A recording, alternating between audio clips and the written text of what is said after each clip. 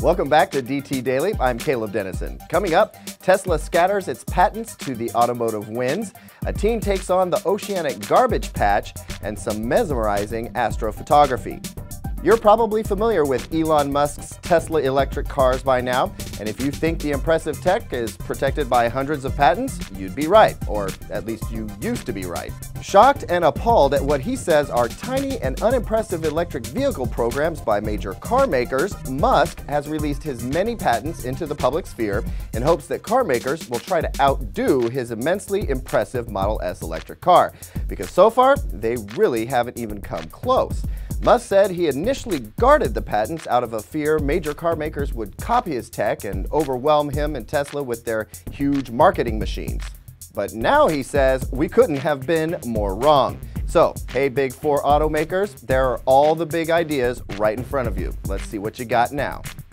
Many disturbing photos of the horrible effects of giant oceanic garbage patches, which are mostly made up of plastic, have raised the profile of this huge environmental scourge.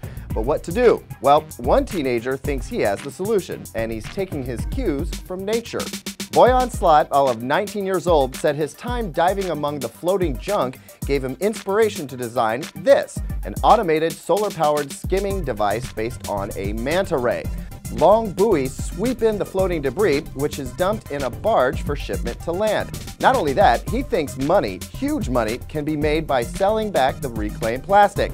So far, a crowdfunding effort to build the machines has raised almost a million dollars. Slat says his idea, which has won design and technology awards, could clean up the mess in about five years. Get more information at the link below. Astrophotography has taken off in recent years thanks to better digital cameras and computerized tracking mounts which let even amateurs get great results. But one guy has really taken the art form to the next level.